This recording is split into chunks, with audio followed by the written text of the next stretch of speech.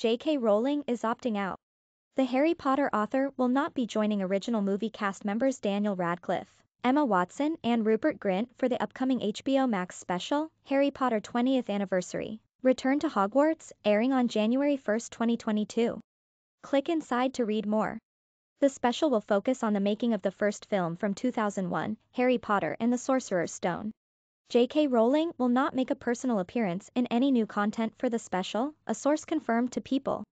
She will, however, be shown in archival footage throughout.